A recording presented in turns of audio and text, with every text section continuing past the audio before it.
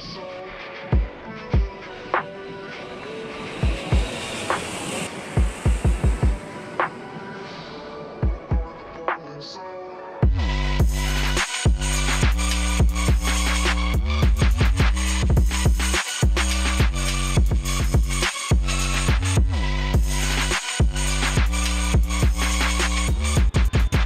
Shalom, Israel. This is Bishop Nathanyel.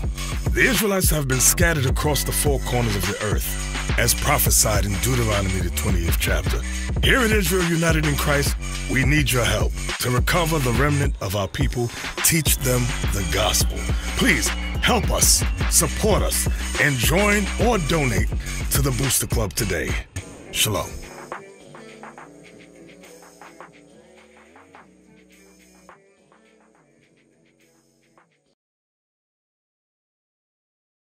We understand it's a process. You got to take baby steps, but you got to actually take an effort in doing what God say for the change to come. So, what you said, like I said, you being honest. Give me Proverbs 28, verse 13.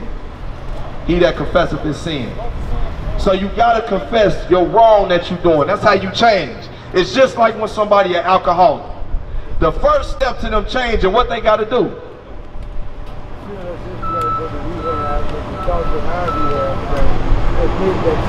Say it, say it again.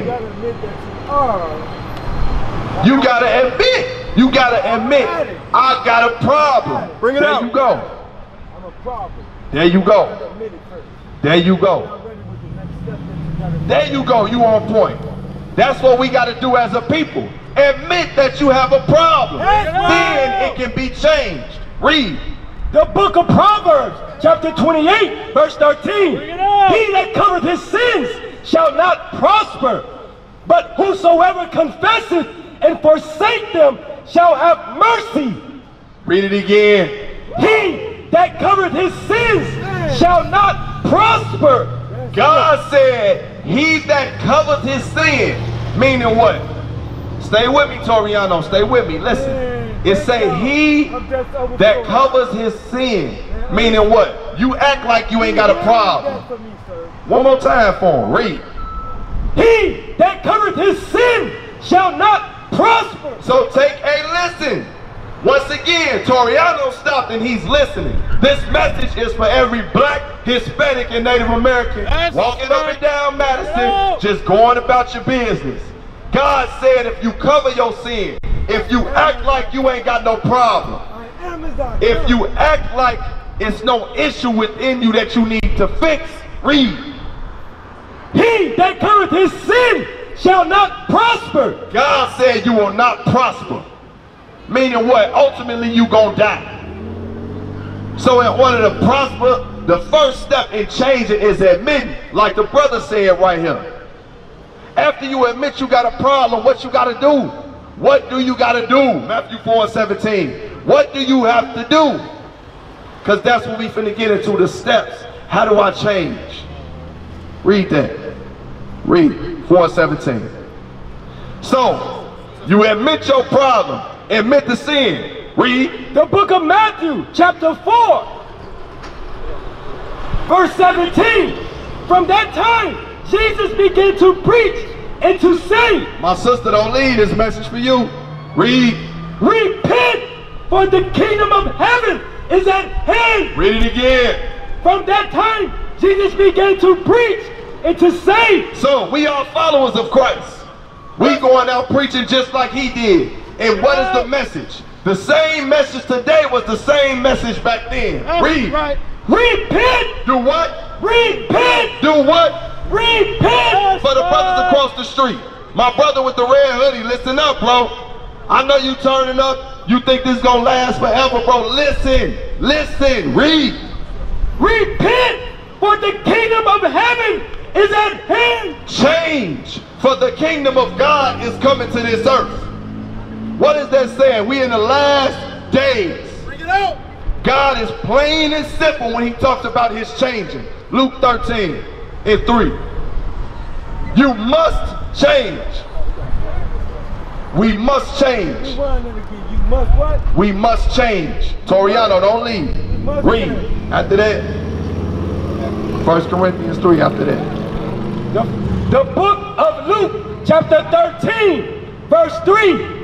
I tell you, nay, but except ye repent, ye shall all likewise perish. Read it again. I tell you, nay, but except ye repent, ye shall all likewise perish. So God is very serious.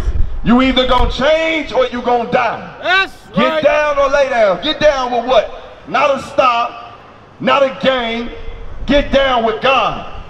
You've tried your way. Try God's way.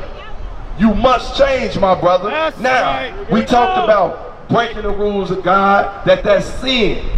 So, if we look at Toriano, if you take a step back, you look in the mirror, what's some sins that you breaking right now, my brother? Okay, okay. Abusiveness. Abusiveness. That we don't each other, but we show through the. Exactly. And that take a lot. That takes a man to admit his problems. You gotta get some help somewhere. Some brothers is weed. Some brothers is smoking, cause I noticed. we had the black mile. That's not right. But we gonna show you what the Bible says about that. You understand? Bring it out. Bring it out. out here for you. Read. The book, You want uh First Corinthians 3, 16. the book of First Corinthians, chapter 3, verse 16. Know ye not that ye are the temple of God, so your body is the temple of God. Listen. and the Spirit of God dwells in you. Uh-huh. If any man defile the temple of God, him shall God destroy. Let's read it again. We're gonna go through it slower. Read. Know ye not that ye are the temple of God? So the temple of God is not a physical building. it's it your out. body. Bring it out. Your body is the temple of God. That's right. Being that your body is the temple of God, you can't put what you want in that body. Because it don't belong to you, it belongs to. God. I had to come to that same realization. Read. Know ye not that ye are the temple of God, uh-huh. and the Spirit of God dwells in you? You see yourself on that sign, my brother? You are the people of God. The people of God, the Spirit of God naturally dwells in us when we do what He say. Read. If any man defile the temple of God, If we defile this temple right here, we put weed in it, uh, smoke from squares, blacks, tattoos, we sleeping around, crack, heroin, lean, pills. That's defiling, ruining, destroying the temple of God. Bring it out. Fornication. Fornication is sleeping around. You trying to smash every sister you see. That's defiling God's temple, which is your body. What do you think God will do to you? Punish never like. Punish you like, I'm glad you said that. If you become an angry God. Exactly. You're absolutely right. Read that. if any man defile the temple of God, him shall God destroy. So, if you keep smoking, what's one of them punishments he'll put on you to destroy you? Cancer. Right. cancer. It's just like when you see these buildings in the neighborhood. After all that graffiti, people pissing in the hallway, people throwing food all in the building, the building start to crumble and get weak. And you can't fix it, ain't no repairing it. It must be tore down. That's what God will do to you if you keep defiling that temple, which is your body. You a son of God, you can't do what everybody else do. You special. Bring it out. But if you keep going against God, you hear me? Listen, you keep going against God, what is he gonna do? Him shall God destroy. Because you defiling what belong to him. This body, everything can't go in it. It's just like a car. Your car got certain gas it take. You can't put 93 in there if it take 87. Or premium if it don't take 87. You get what I'm saying? You gonna ruin the car. Same thing. You gonna ruin your body. That's why people got diabetes, gout, high blood pressure, having strokes because we not following what God said. That's right. Get out. Next thing,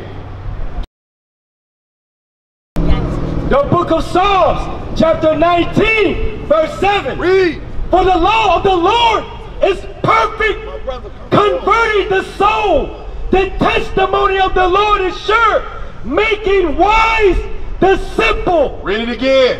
The law of the Lord is perfect. So it said, the laws of God, the rules of God is perfect. My brother, if I follow the rules of God and the Bible say they're perfect, what that's gonna make me? Say it again. Perfect. So you can be perfect. But you gotta stay, you gotta take steps into being perfect. You don't just stand there and become perfect. You gotta put an effort. Put your best foot forward like they tell us to become perfect. Read. The law of the Lord is perfect, converting the soul. What's gonna what's gonna convert you? What's going on, bro? The law of the Lord is perfect, converting the soul. God's laws, his rules is what's gonna change you. That's Didn't no man change? Feet to your mind. There you go. Didn't no man change us. We heard the words of God. That's what made us change. So seeing us, you can change. We the example for you. Bring it out. Only thing stopping you, Toriano, listen to me. Listen. The only thing stopping you from changing and being a better man is yourself. Right. Nobody else. Bring it out. You know, once you put your mind to something, nobody can stop you. So you got to put your mind to changing, getting that situation better that you reveal over here. You understand? I got, I got Read. The book of Psalms, chapter 119, verse 59. Bring it out. I thought on my ways and turned my feet unto thy testimony. Bring it Read it again. I thought on my ways and turned my feet unto thy testimony. So you got to think about your ways. What is Toriano doing wrong? Don't worry about nobody else. Deal with you first. What am I doing wrong? Sit down and really think. Okay, the Bible say this. I'm doing that wrong. Let me fix this. The Bible say this. Am I doing that? Okay, I'm not doing that. Let me do this. How am I treating my wife? How am I treating my lady? Okay, Bible say treat her like this. I need to do that step by step and you fix them things. It's not an overnight thing, it takes time, but you have to start somewhere. Read. I made haste and delayed not to keep thy commandments. So you must move quickly. Make haste mean move fast, move quick to come back to this. That's right. Let me follow the rules of God. That's why when we've been out here, we said we've tried our way. Look at Madison and Pulaski. This is our way, and it don't work. It's time to try God's way. Read. I made haste and delayed not to keep thy commandments. Don't delay. Don't put it off. Don't procrastinate. Move quick and do this. Read. Same thing. 60 again. I made haste and delayed not to keep thy commandments. That's how you gotta move. Quickly, quick. And keep the words of God. Do what the Bible says. That's right. Because if you just listening, what you doing? James 1 and 22. One ear out the other. So you gotta apply what the Bible says. My brother, with the hoodie right here, you believe in the Lord? Read that. The book of James, chapter 1, verse 22. My sister, get a flyer. I got one. Be, Got one? Make sure you read it, all right?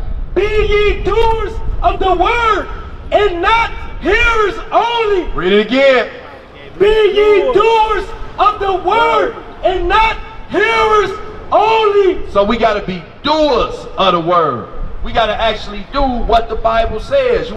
We used to scream black power while Heron was pushed. But at the end of the day, nothing's in vain. IUIC has been given a vision. The tents of Judah has risen. Many has attempted the mission, minor murmuring, omitting, and missing the mark. Just reading that he had the flame of fire in his eyes gave us the spark. We on Paul's mission. We out on the road, purple and gold, from Mexico, Cuba, Haiti, Ghana, Sierra Leone, 144,000 boots banging, concrete crackling. These are our men repented at heart. The scriptures is proof. IUIC, we deliver the truth.